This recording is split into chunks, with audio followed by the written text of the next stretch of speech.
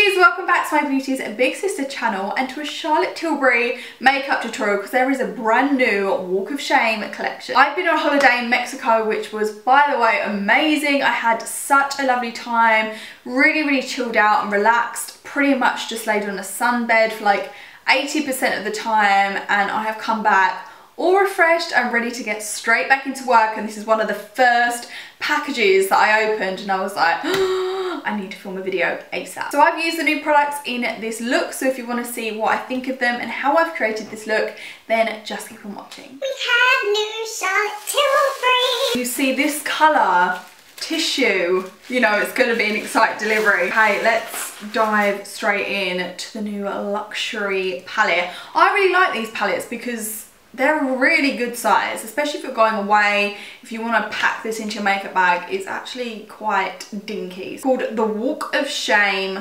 Luxury Palette. So we have this beautiful shimmer, which looks really nice. And what I learned from before is that Charlotte likes to prep the lid with this. Actually very, very soft and light. Um, then we have this shade right here, which looks more like a burnt amber kind of colour, again with a little bit of sheen. Oh, how gorgeous is that? Buttery, really gorgeous formulas. Okay, now this looks more of a glam shade, a lot more sparkly. Yeah, that is stunning. I love that with the glitters, they're not glitters, they're more shimmers, they're just really subtle. There's nothing like too out there. And this purple, I mean, I'm excited for this one. This is giving me autumnal vibes. I am enjoying this. Number one, we're going in with the shimmer, which Charlotte taught us in the last video when we followed Charlotte's tutorial and I was baffled. Really, really, really need to clean my brushes.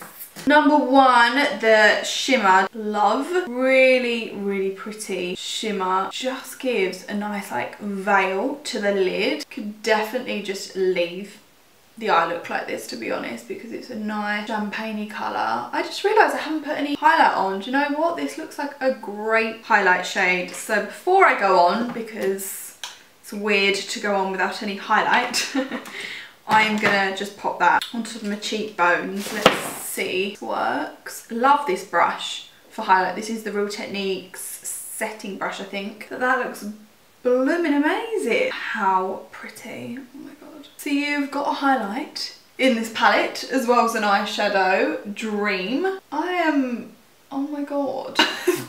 this is amazing. It's like a really buttery formula. So it's actually like gliding on beautifully. Right now we are going to enhance with number two, which is this burnt amber. And I'm gonna take that start from the outer corner. How pretty is that finish? It's like a molten metal kind of finish. I am getting a bit of fallout, slightly annoying. It has swept away quite well to be fair. Really like this amber shade. How pretty. Now I'm going to go in with flat brush. With a flat brush you just really do get the pigment come through more. Like that is so much more dominant. I'm actually just going to pack on this colour in the outer corner as well. I would definitely recommend to use this palette before doing the rest of your makeup because the fallout is really annoying. Okay, right, I'm not going to worry about the underneath of here at the minute. We can do that at the end. Um, I'm going to go in with number... Uh, oh, this is so weird. I would have presumed it would have gone one, two, three, four but it's one, two, three, four. So bear in mind that. We're gonna smoke it out now with number three, which is the beautiful deep purple. this shade looks pretty stunning. Building these shades up. Oh my god.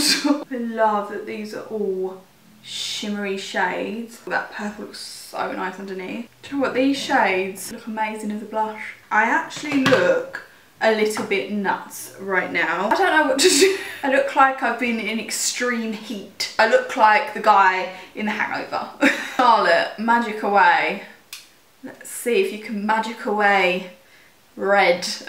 also, big fan of this concealer. This is actually the Charlotte Tilbury Hollywood Complexion Brush. I don't really use that smaller side, but I do like this bigger side for blending in concealer. Okay, this is good. I really like that as a blush. Now let's go back in and add that highlight that we've probably lost from doing that amount of concealer. This is stunning as a highlight. We have recovered the situation. I'm now gonna go in to the beautiful shimmer, which is number four, which is Pop. That is so gorgeous. I mean, it just glides on. It's more like a shimmer rather than a glitter, which I personally prefer. It just looks really, really effortless.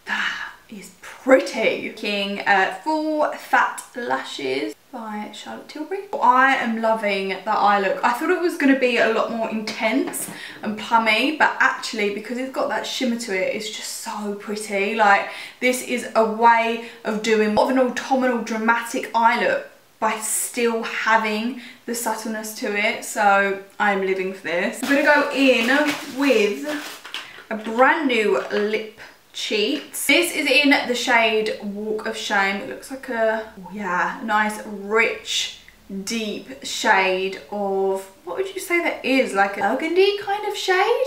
Um, so obviously with the Lip Cheat Reshape and Resize lip liner, you can give the illusion of fuller lips. So we're going to slightly overline with this. I do love the texture of this lip liner. I do have quite a few of them and you can see just how well they glide on. That looks like such a nice colour. Now we're going to go in and finish it with the Matte Revolution lipstick. This is a cashmere cream texture with a soft matte finish, enriched with papaya and orchid. Nice. Again, shade is Walk of Shame.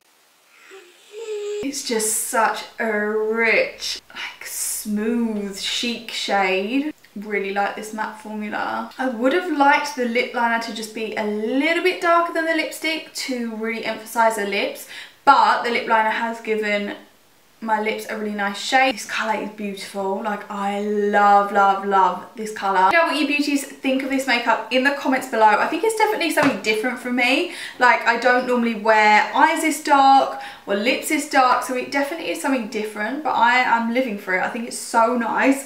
Do you know one thing I'm actually just going to finish with? A little dusting of the brand new airbrush flawless powder. This i've been using loads. Really really like it. Like it's a really nice powder. Just wanted to finish with that because it does give you that kind of nice airbrush look. There we go. Let me know what you guys think of this in the comments below. Thank you so much for watching this video and i will see you beauties in my next video. Bye